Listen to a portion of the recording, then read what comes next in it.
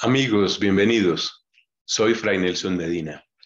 Esta es nuestra exégesis simple, nuestra exégesis de camino para el domingo número 13 durante el ciclo C, el ciclo de San Lucas.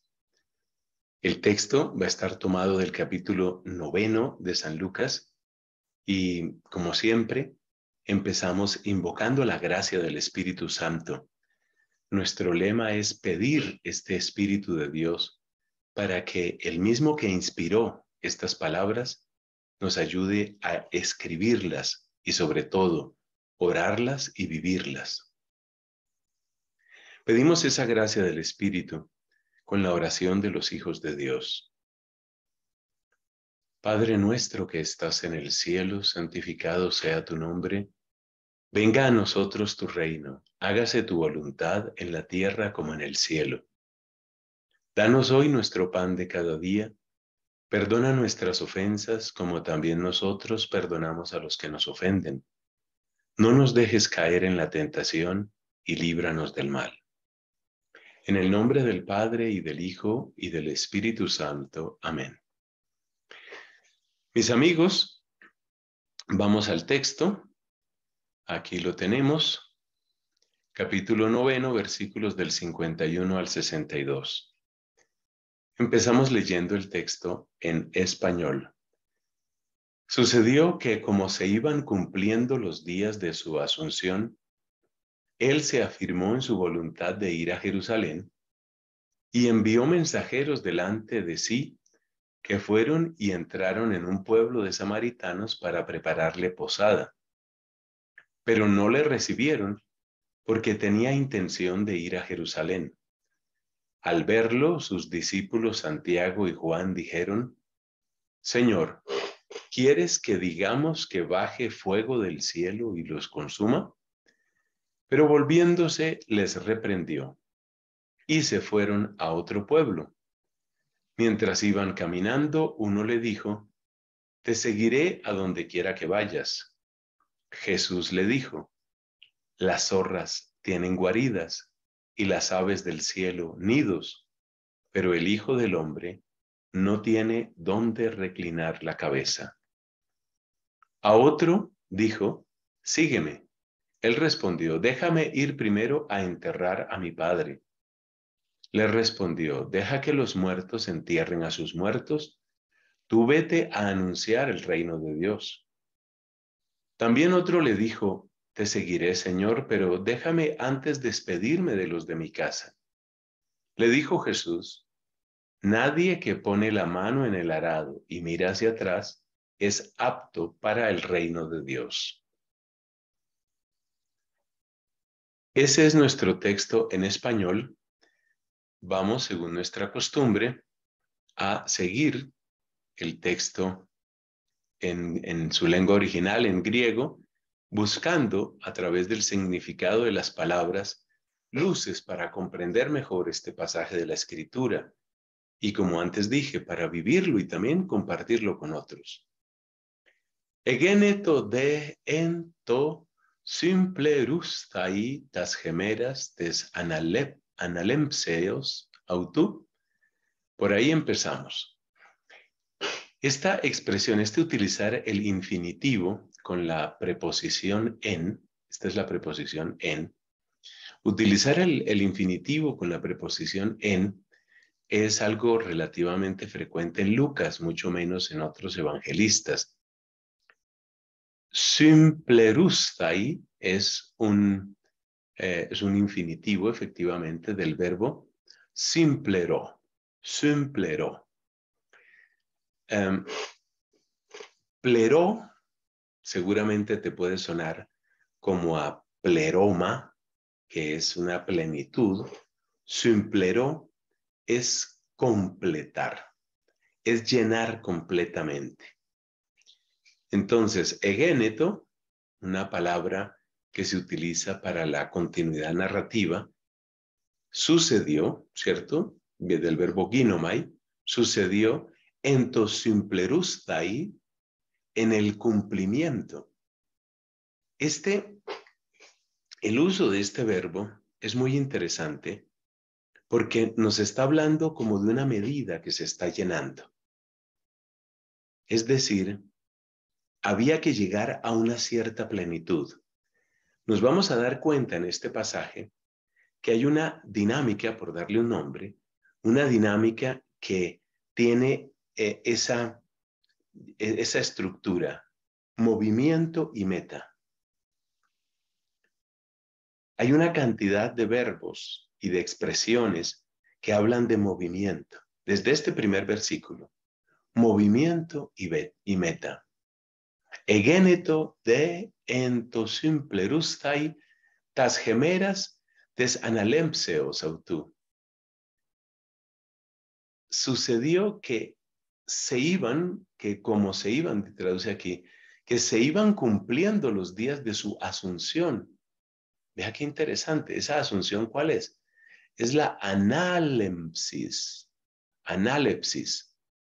Analepsis, pues está indicando la, la, la, asunción, el, el, subir. Anal, analempseos es el genitivo. Los días de la analepsis.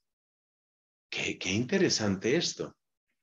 Es decir, desde esta perspectiva de San Lucas, la vida de Cristo eh, se va siguiendo un recorrido, pero hay que completar una medida y al final de esa medida hay una meta. Esa meta descrita de modo teológico y espiritual es la análepsis. Y esa meta desde el punto de vista físico y geográfico es la ciudad de Jerusalén. Entonces hay que leer este texto teniendo en cuenta, como ya antes dije, la dinámica del recorrido y la meta. El recorrido son los días del ministerio de Cristo y la meta es la análepsis. Ya volveremos sobre esa palabra, aquí la traducen la asunción, asunción. Los días de la análepsis de Cristo, ¿cierto? Entonces, el movimiento son los días del ministerio y la meta es la análisis. O también se puede decir, el recorrido son los caminos que, van, que va haciendo Cristo con sus discípulos y la meta es Jerusalén. Por favor, tener en cuenta esa doble dinámica. Está recorrido espiritual, que es el ministerio, recorrido físico, que es el camino a Jerusalén. Meta del recorrido teológico o espiritual. ¿Cuál es la meta? La meta es, pues eso, la análepsis. ¿Y cuál es la meta geográficamente, físicamente hablando? La meta es Jerusalén. Jerusalén entonces es el lugar de la análepsis. Pero ¿de dónde viene análepsis? Análepsis viene del verbo analambano. Lambano es recibir, es tomar, tomar, recibir. Y análepsis es, eh, aná es, una preposición, en este caso preposición inseparable, que indica una dirección hacia arriba. Entonces es como el ser tomado desde arriba, por eso lo traducen aquí por la asunción, la asunción. Vamos a ampliar ligeramente. Yo creo que se alcanza a ampliar un poquito aquí la, la, letra para que se, se vea un poquito mejor. Eso es. Entonces, la análepsis es el ser tomado desde arriba. Eh, esto quiere decir que para Lucas, y una idea muy semejante tenemos en el Evangelio de Juan, la vida de Cristo es un recorrido por esta tierra hasta ser tomado, hasta ser llevado hacia arriba, hasta ser asumido desde arriba. Eso es lo que significa análisis, ser asumido desde arriba, ser tomado, ser asunto, ser asumido. La vida de Cristo entonces tiene un propósito, un propósito que se cumple en esa en ese recorrido y en esa en ese ser tomado. Hay un momento definitivo y ese momento definitivo teológicamente, repito, se describe como análepsis, es decir, el ser tomado. Cristo tiene que ser tomado y ese ser tomado es lo que va a suceder en la ascensión de Cristo. sucedió en to simplerus taitas gemeras tes analem, analempseos, sucedió en el llenarse los días, en el completarse los días. Fíjate la construcción con en e infinitivo.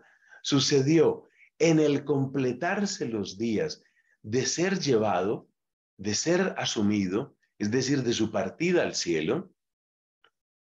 ¿Y cómo sabemos que es la partida del? Porque dice, tes analemseos autú, la subida, la asunción de él, cayautos to prosopon esterisen tu poreustai eis Jerusalén, eis Jerusalén. Sucedió en ese cumplimiento, kai autos y él to prosopon esterisen, esterisen, tu poreu estai eis Jerusalén. Bueno, prosopon es una palabra que seguramente van a reconocer muy bien los estudiantes de teología, porque aparece en el, en el Tratado de la Trinidad y aparece en la Cristología. Prosopon es, eh, eh, se suele traducir por, por persona. en el Tratado de la Trinidad se habla de persona, se trata también de subsistencia, las subsistencias, las personas en la Santísima Trinidad. Pero aquí el sentido de prosopon es distinto. El, sentido de prosopon en la Biblia, no sé si siempre, no, no llega hasta allá mi conocimiento, pero con bastante frecuencia prosopon indica el rostro. Entonces aquí se refiere a que autos, o sea, Cristo, Jesús, to prosopon esterisen. ¿Y este esterisen qué quiere decir? Pues quiere decir, viene del verbo sterizo, sterizo, que es algo así como, como preparar resueltamente, disponer las cosas para que algo suceda.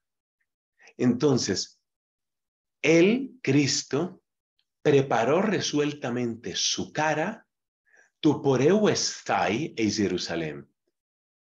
Se preparó resueltamente o se preparó formalmente, bueno, otra palabra que puedas utilizar parecida, se preparó, ¿para qué se preparó? Se preparó, tu poreu estai es Jerusalén. Poreu estai, si tú lo examinas, pues viene de poreu omai, que es ir, de nuevo movimiento, ir a Jerusalén. Entonces, eh, traduce aquí, se afirmó en su voluntad de ir a Jerusalén. Literalmente lo que dice es, fijó su rostro o preparó su cara, preparó su rostro. Literalmente, si tomamos prosopon por su sentido literal, preparó su rostro para ir a Jerusalén.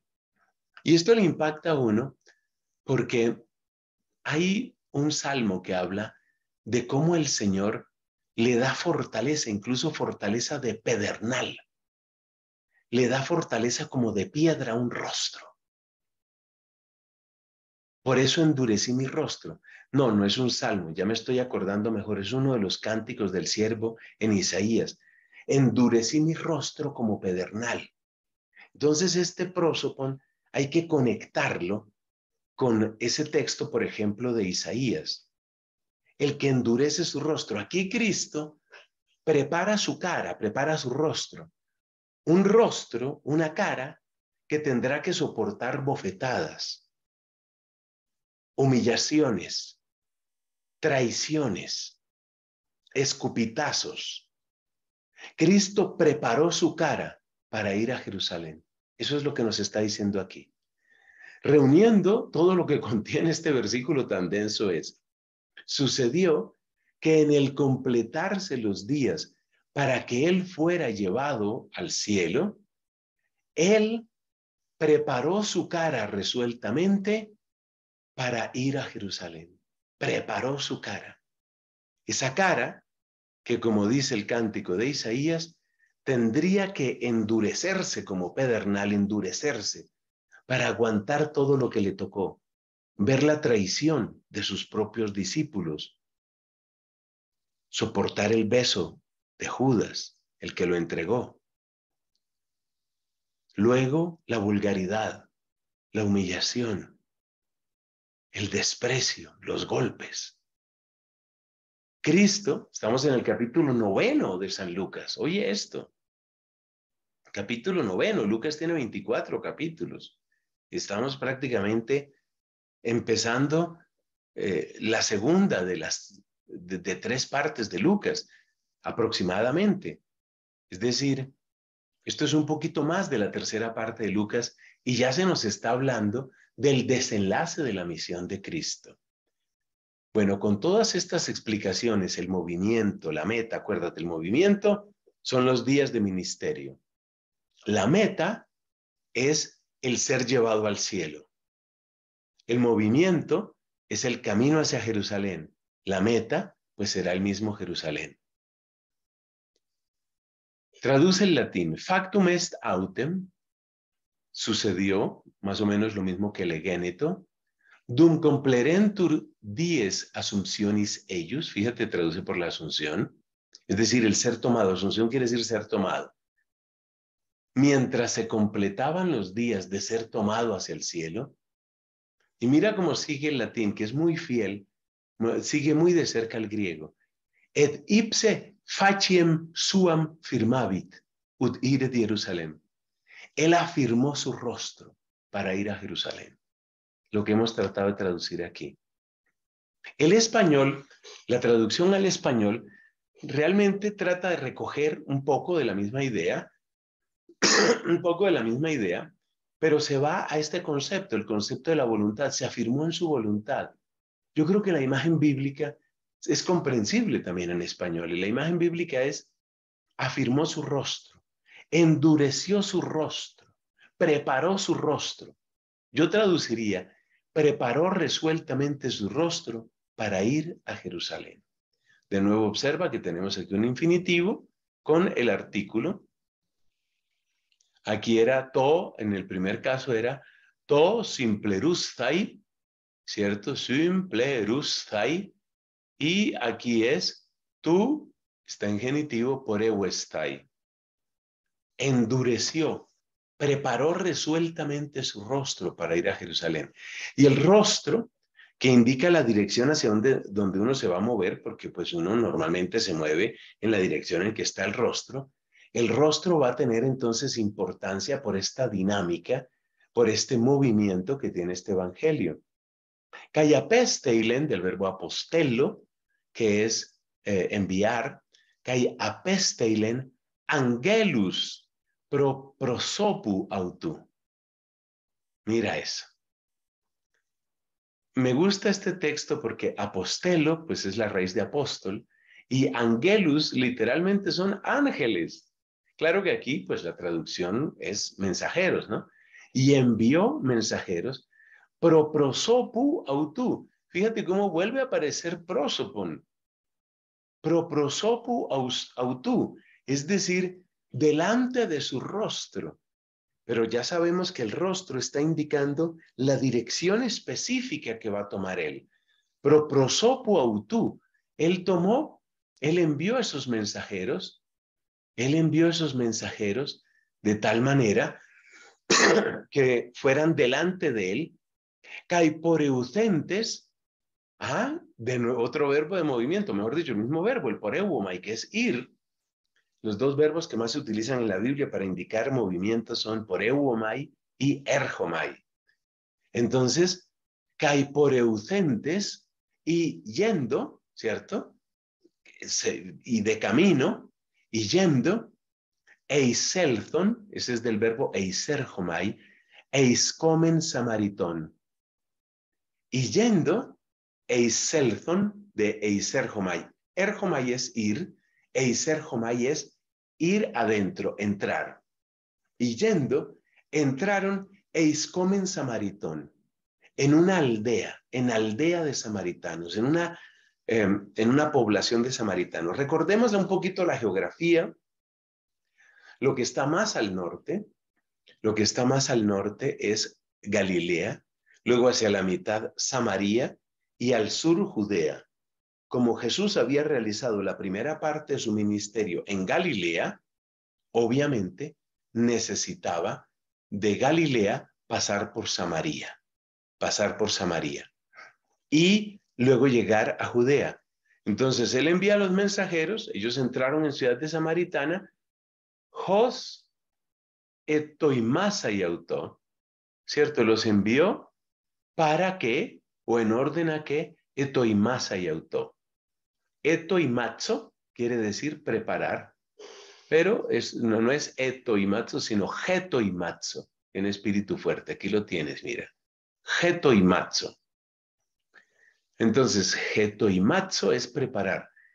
Y, y, yendo, estos mensajeros enviados por él, entraron en aldea de samaritanos, Jos eto y masai auto, para prepararlo, o preparar las cosas para él, diría uno.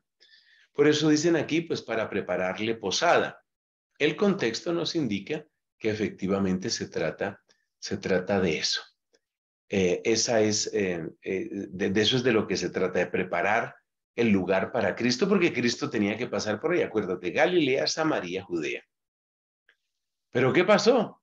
Que los samaritanos, ¿cierto? Nos dice aquí, Kai ukedexanto, Kai ukedexanto auton, y no lo recibieron por esa hostilidad entre samaritanos y judíos.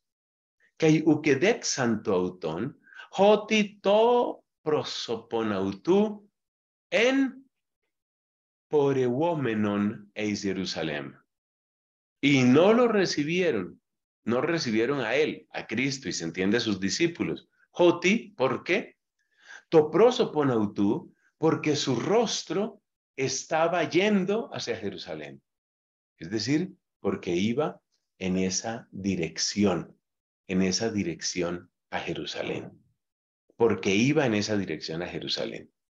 Por eso lo detuvieron. Esa hostilidad entre la región de Samaria y la región de Judea, pues viene desde la separación que se dio en el siglo X antes de Cristo, o sea, eso ya tenía mil años, la separación que se dio cuando se dividió el reino del norte y el reino del sur. Precisamente el que realizó esa separación, que fue Jeroboam, tomó una decisión. No, nosotros tenemos que impedir que nuestra gente vaya a Jerusalén. Ahí empezó el, el, odio, el rechazo a Jerusalén por parte de los samaritanos. Entonces, cuando vienen estos galileos eh, con Cristo a la cabeza, cuando vienen estos galileos que van de camino a Jerusalén, no, Señor, a Jerusalén nosotros no le vamos a dar a ustedes nada, no los vamos, no los vamos a, ayudar en nada.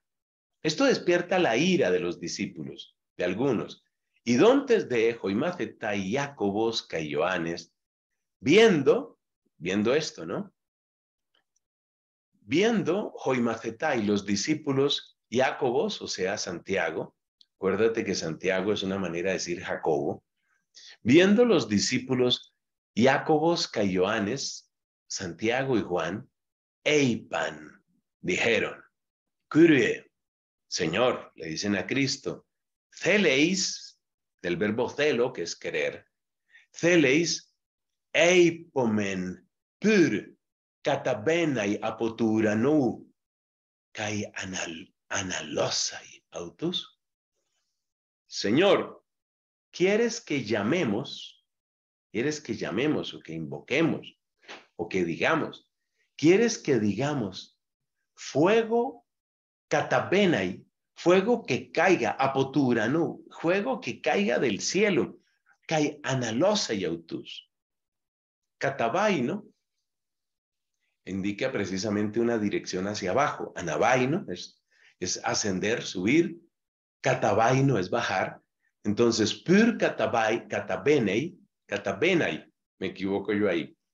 Entonces, la pregunta de ellos es, Apoturanu autus. ¿Quieres que llamemos o que digamos que baje fuego del cielo y los consuma, los queme completamente? Cristo les dice, strafeis volviéndose, strefo quiere decir darse la vuelta, volviéndose, strafeis de epetimesen autois. Epitimao es un verbo que significa honrar, o sea, proclamar lo que es bueno, pero también, o a quien es bueno, pero también ha tomado ese sentido de reprender. Es como, pues si, hay que darle la honra a lo que es bueno, también hay que poner en su lugar lo que está mal. Entonces, epitimao tiene también ese sentido de, de, reprender. Aquí claramente es eso, ¿no? Strafeis, volviéndose, epetimesen autois, los reprendió. Algunos manuscritos agregan otro texto y dicen aquí, los reprendió diciéndoles, no sabéis de qué espíritu sois. No sabéis de qué espíritu sois.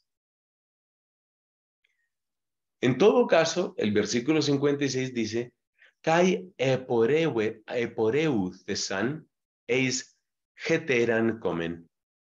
Y avanzando, o y se fueron eis heteran comen. Heteros quiere decir otro. Por ejemplo, un grupo heterogéneo es un grupo donde hay distintas clases, cada uno es otro para, para, el, para el otro. O por ejemplo, el, el ejemplo más conocido ahora mismo, ¿no? Heterosexual, la persona que tiene un gusto por lo menos prevalente para las personas del otro sexo. Heteran es el, es el otro. También está la heterodoxia, la heterodoxia es la gente que se ha apartado de la recta, del recto sentir, de la recta opinión. Tienen otra opinión. Entonces es un heterodoxo. ¿Qué quiere decir? Es una persona que tiene una opinión que no es un pensamiento que no es el pensamiento de la iglesia. Eporeucesan, entonces ellos se fueron e isgeteran comen a otra aldea. Es interesante notar todos estos verbos de movimiento, ¿no? Sobre todo los derivados de poreuomai en este pasaje. Y es interesante notarlo porque también nos hace ver que posiblemente aquella aldea merecía un castigo, pero Cristo no quiere perder tiempo en, ese, en esa reprensión. Hay algo en todo este pasaje que muestra la prisa de Cristo,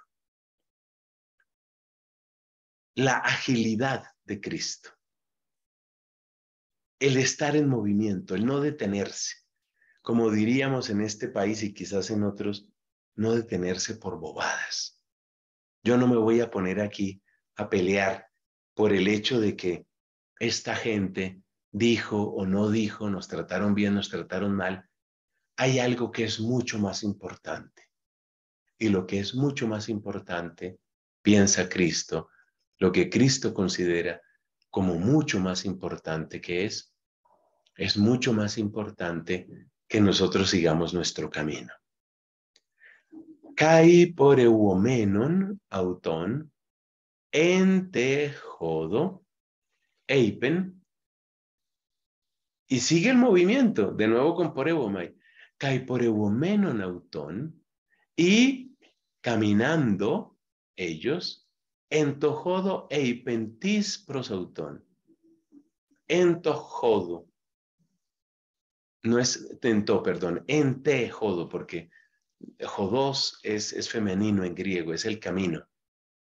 Entejodo, entejodo, a ver si pronunciamos bien, kai por euomenon, y caminando ellos, entre Jodó e Ipentis prosautón. En el camino dijo Tis, alguien, alguien, a él, a Cristo, a Jesús. Uno le dijo, acoluceso soy, jopu ean aperge. Es el verbo acoluceo, el verbo acoluceo que indica, pues acoluceo es es moverse, eh, pero moverse al lado de. Por eso se traduce por seguir. Te seguiré, acoluceso. Soy, seguiré a ti. acoluceso soy, hopu ean aperge.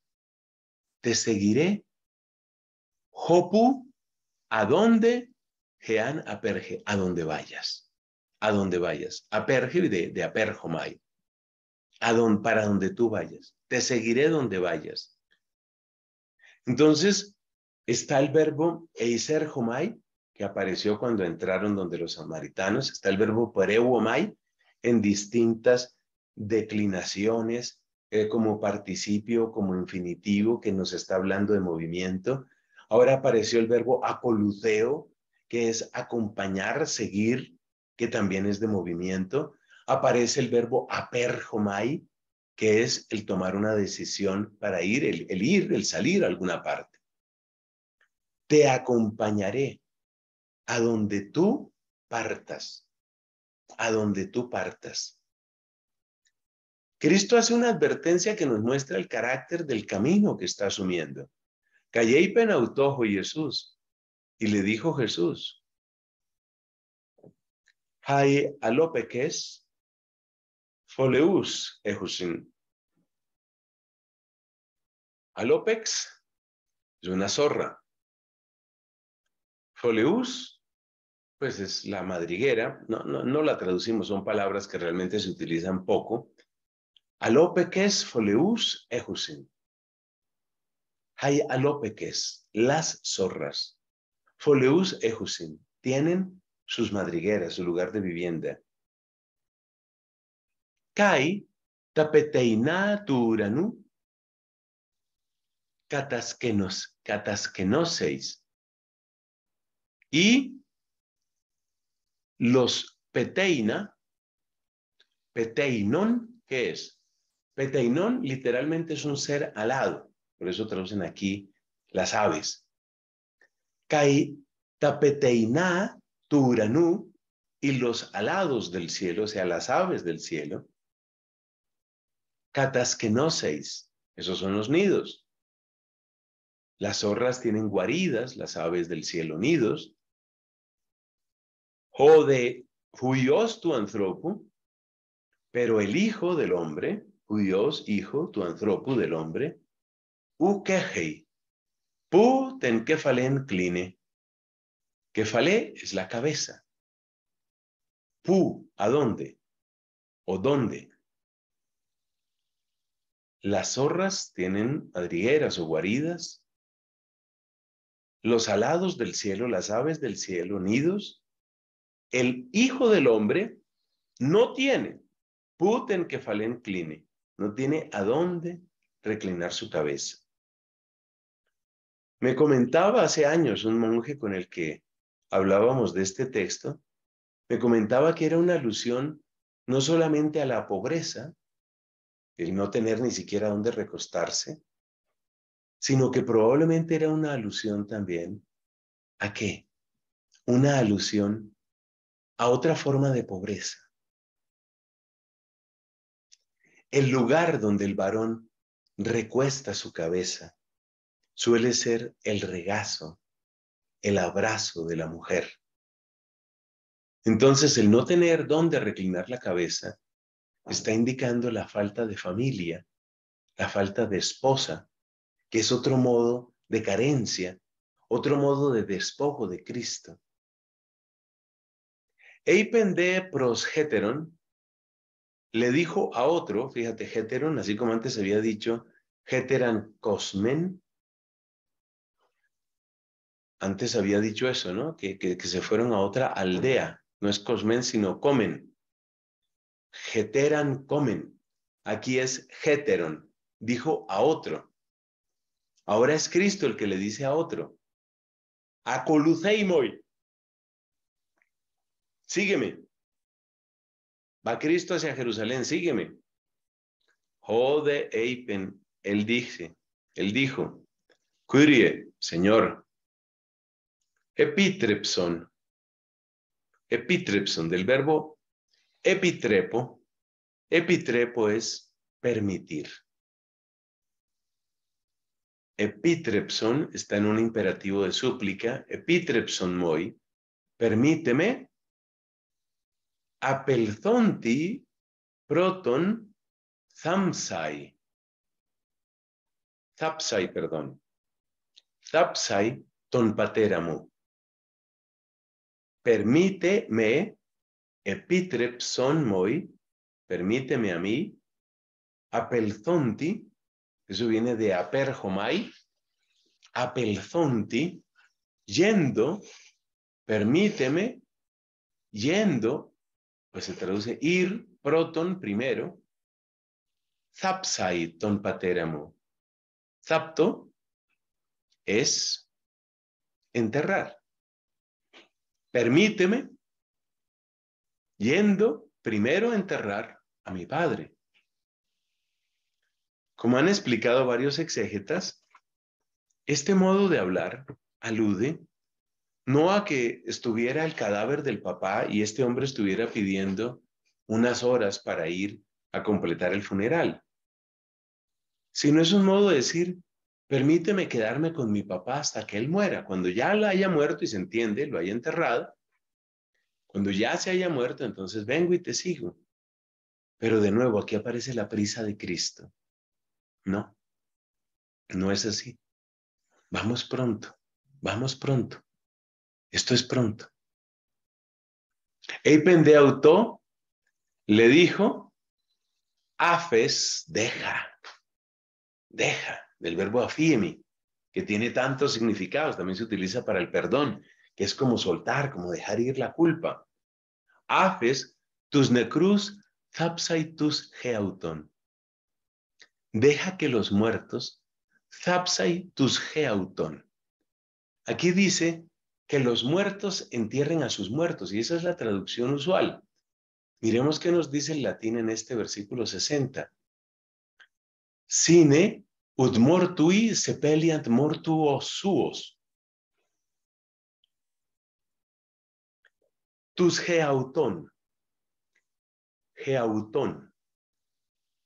A ver, que los muertos entierren a los de ellos.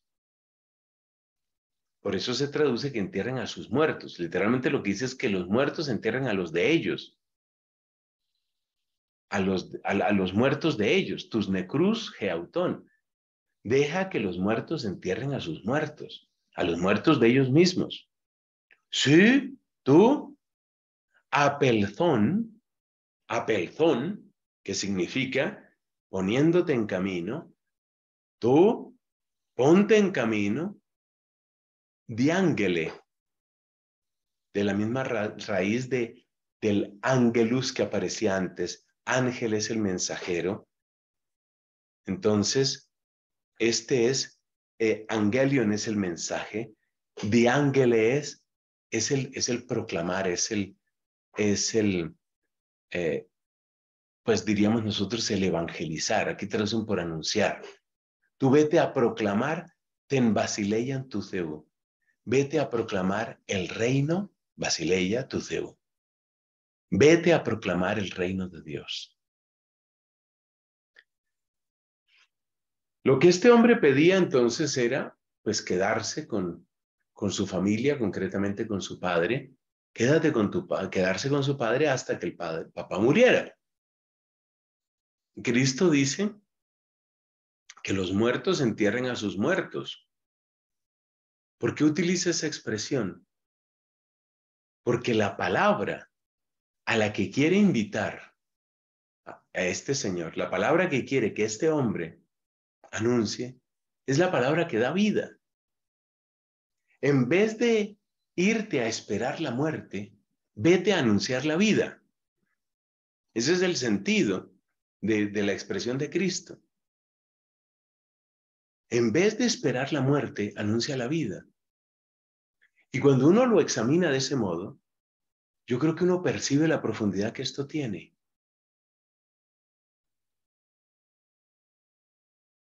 Porque podemos decir que en el fondo se trata de dos maneras de vivir. ¿Cómo vas a vivir tú? ¿Esperando la muerte? ¿O vas a vivir anunciando la vida? Los que esperan la muerte los que viven simplemente esperando la muerte, de alguna manera ya están muertos. Por eso los llama los muertos que entierran muertos. Los que están simplemente esperando la muerte, así la esperen en medio de, qué sé yo, comidas y gozar. Los que están esperando la muerte ya están muertos. Tú no, tú no hagas eso. Tú vete a anunciar la vida. Vete a anunciar la vida. Y la vida está en el reino de Dios. La vida está proclamando que es Dios quien reina. Eipende caigeteros. Y dijo otro, acoluceso soy, te seguiré, Curie, Señor. Acuérdate siempre por Curie eleison. Te seguiré, Señor. Proton. Este también dijo Proton. Y si te das cuenta, lo que está diciendo Cristo es que nada puede tener primer lugar sino el anuncio del reino de Dios. Es decir, la evangelización es el cumplimiento supremo del primer mandamiento. El primer mandamiento de la ley de Dios dice, amar a Dios sobre todas las cosas, sobre todas las cosas. Entonces, pues hay que anunciarlo sobre todas las cosas, sobre todas. Ese es el sentido. Hay que anunciarlo sobre todas las cosas. Él va primero. Él es más importante que todo. El Evangelio es más importante que todo. Entonces hay aquí una equivalencia entre el anuncio del Evangelio y la máxima expresión del amor de Dios. Porque de hecho el anuncio del Evangelio, al hacer presente el amor de Dios, nos hace posible que lo amemos a Él primero. Entonces, todos estos que rechazaron el llamado son los que dicen, pero primero otra cosa, y Cristo es radical y dice, no, primero nada, primero nada. Primero el reino de Dios. Primero el reino de Dios. Acoluceso soy, curie. Proton de epitrepson moi. Otro que pide también permiso Primero, pero primero, pero primero dame permiso. Apotaxastai tois eiston oikonmu.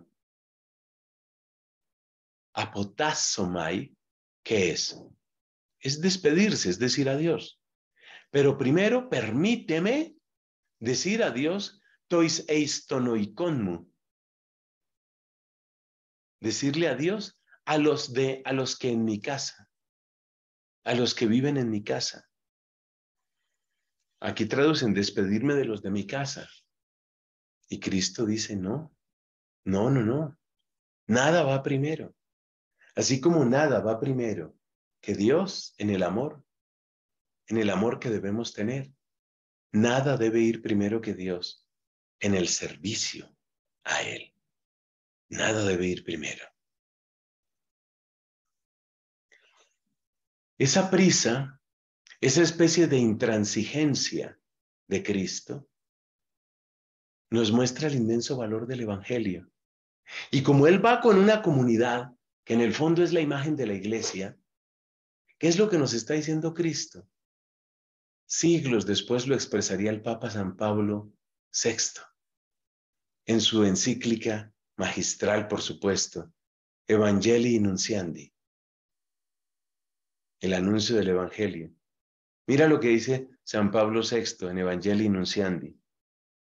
La iglesia existe para evangelizar. No puede tener otra prioridad. Y todo lo demás que hace, lo hace en función del anuncio del Evangelio.